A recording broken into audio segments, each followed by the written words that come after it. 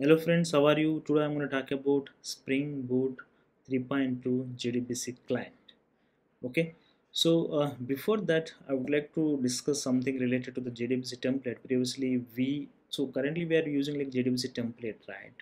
So the JDBC template in Spring was introduced to simplify the usage of JDBC, that is Java database connectivity, and make the database operations more streamlined so uh, I would like to discuss some of the advantages of this JDBC template. So reduced boilerplate code. So um, JDBC operations often involve a lot of repetitive code for opening connections and create, creating statements and handling exceptions and closing the resources. So the JDBC template abstracts much of this away and reducing the boilerplate code significantly. And if you're talking about the exception handling, so it simplifies error handling by converting SQL ex exception into a more meaningful exceptions that are easier to manage and handle in the application.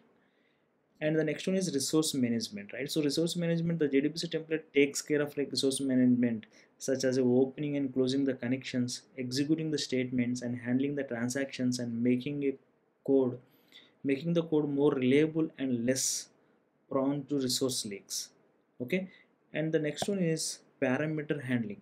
So it provides built-in support for like parameter binding and mapping SQL query results to a Java objects.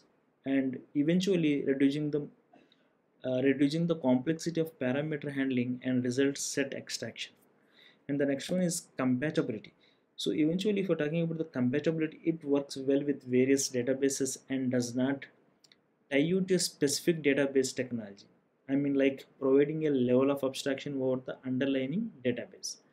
And the last one is integration with Spring ecosystem. So it it's being part of the Spring framework. I mean like JDBC template integrates seamlessly with other Spring features like dependency injection and transaction management and exception translation. Okay. So now drawback of JDBC template. So if you're talking about the JDBC template, what is the drawback? So why this JDBC client is came into the picture? So the JDBC template simplifies the database interactions, but can become verbose when building basic CRUD operations, right? So basically it requires a deep understanding of methods like row mappers, right? So you need to write row mappers and again you need to be write like column to field mapping. So which can be very challenging task while you are writing like row mappers and column to field mapping, right? So to overcome this, basically Spring 6 6.1 and Spring Boot 3.2 introduce a new JDBC client API, so which is a wrapper on top of this JDBC template. So perf for performing database operations using a Fluent API, right? So the JDBC client stands out for its automatic configuration feature, right? So what does it mean basically? So this means that uh, that requesting a bean in our application instantly provides us with an instance. So so that eventually it will eliminating the need for a manual setup and streamlining the process effortlessly right?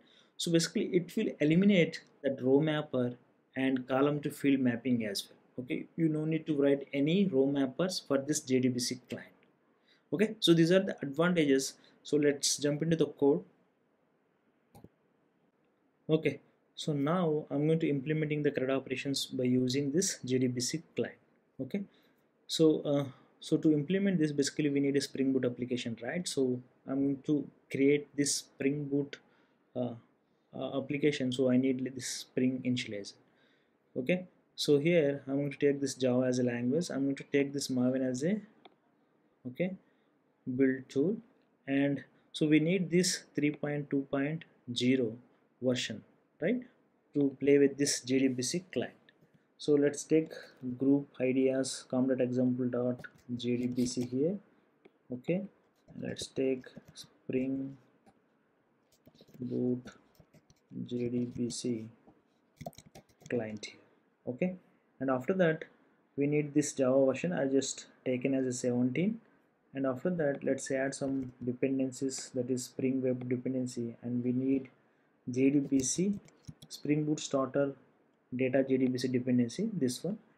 And after that I'm going to work with like uh, MySQL okay? So I need like MySQL driver as well okay? That's it. Let's generate this project and import into your ID I already imported this project in my IDE to save the time okay? So this is the pom.xml file. And after that we need one entity class right? So this is my product class. I'm going to performing um, product CRUD operations here. That is the reason I'm just taking this uh, product as a record okay? ID name and price. And after that I have like product repository okay? This is the interface. I just have like all the CRUD operations related methods find all find by ID save update and delete methods okay? And whereas I need product service here okay so uh, before I'm going to explain about the JDBC client so I'm going to take in this JDBC template okay? As an example I'm going to convert this JDBC template um, uh, JDBC template project into the JDBC client so that like you people get like more clarity. So where exactly this row mapper is required in the JDBC template where is not required in the JDBC client so that like you will get more idea on that okay so uh, this is the JDBC template. I just auto this JDBC template to work with this JDBC template methods. So the first of all like find all method. So this find all method will like get like all the products here. So I'm going to make use this JDBC template query method which will take this SQL that is select star from products and which will take the product row mapper here okay? While you are using JDBC template we are responsible for like writing this product row mapper this row this product row mapper will have like column to a your entity field mapping right? So you need to specifically specify this column to your field mapping here right? So that's what I said previously. And if you're dealing with like uh, find by ID right? So if you want to uh, search like a specific ID uh, then we need to use this JDBC template query for object method which will take this SQL query that is select star from products where ID equal to right? And we need to pass as ID here. And we need product row mapper again here okay for your mapping. And we have a save method right? So to save your product basically we need this JDBC template up, uh, update method which will take the SQL query and which will take some params here right? So I'm going to save this name and price okay? That is the reason I'm passing name and price from input params. And so update methods. The update method will same as this save method but the difference is we need to pass the specific id right? So we, whatever that product you are going to update that specific product id we need to pass it here. That's it. So the same update method i'm going to take it here. And deleting if you're deleting like specific product right we need to pass this uh, id and your sql here. Delete from products where id equal to right? So i'm going to use this again this update method right? Let's start this application.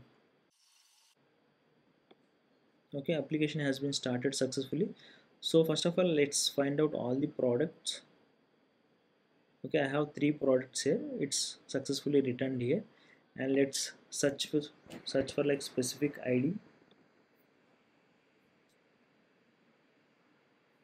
okay this is also working fine. And so let's test this post okay post call that is saving the product okay. So this is my product. Let's hit this. Okay it's created successfully. Let's get it again. Okay computers is created. So now let's update this price by using put API call okay so this is 9 right? Yeah 9 so let's hit this. Okay let's get this product again. Okay it's updated successfully. Now let's delete this. Okay it's deleted. And let's get all the products to confirm this deleted not right? It's deleted successfully so that means by using this JDBC template all the CRUD operations are working fine. So now I don't want to use this JDBC template but I want to use JDBC client instead of JDBC template right? So let's go to your code. So let's use JDBC client. Okay? So let's remove this and let's add to your constructor here. That's it. Let's remove this JDBC template. Okay. And now let's comment out this JDBC template code.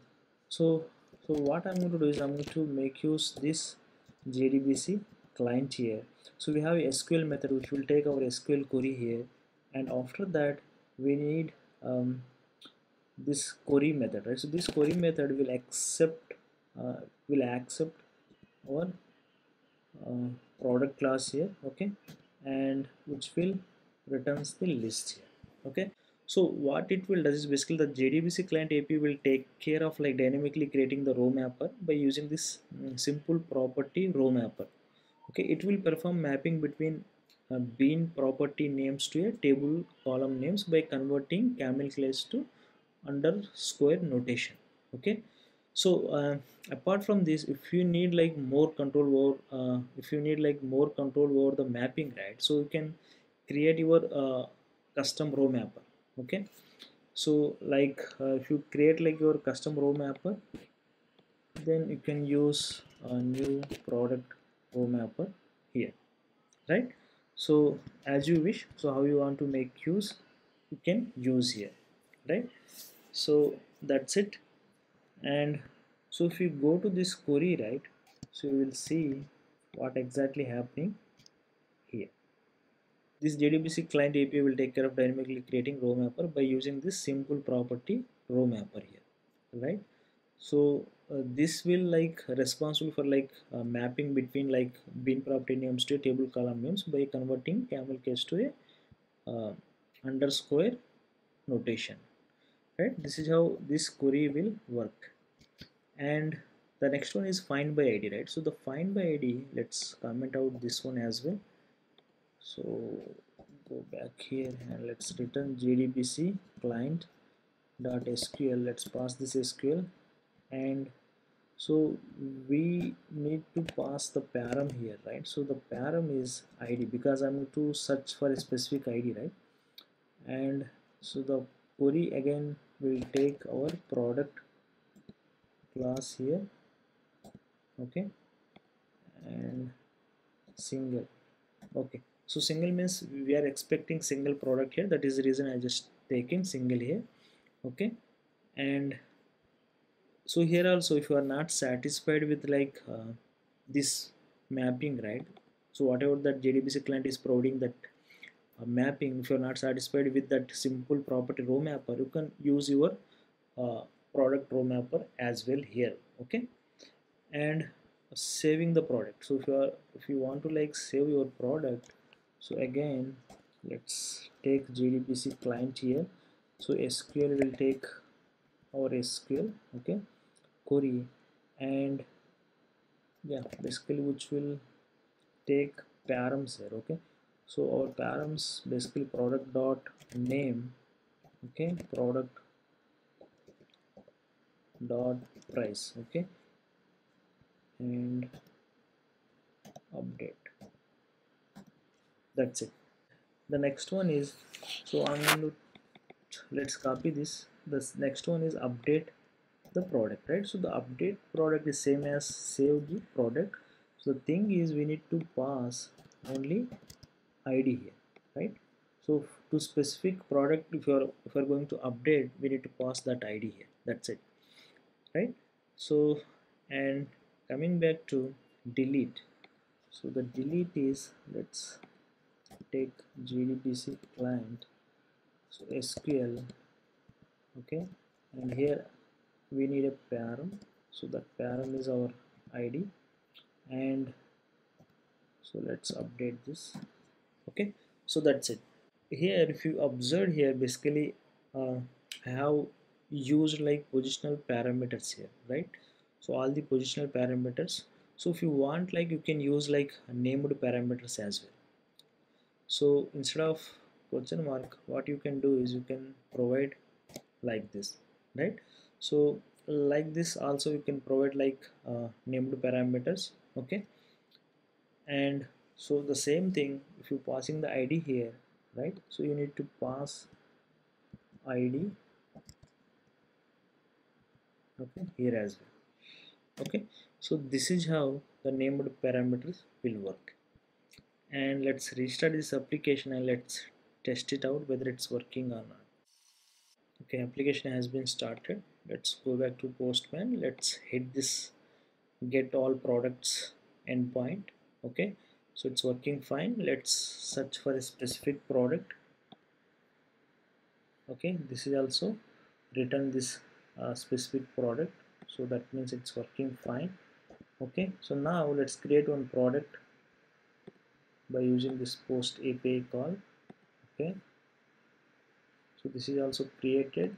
And let's hit this endpoint again to check it out whether it's created or not. It's created and let's update this computer's product. So let's update this price again okay? And let's use your put API call here okay? It's updated. So let's confirm this right? It's updated this price. And the last one is let's delete this endpoint. Sorry uh, let's delete this product by using this delete endpoint okay let's hit this. Okay it's deleted. Let's get all the products again.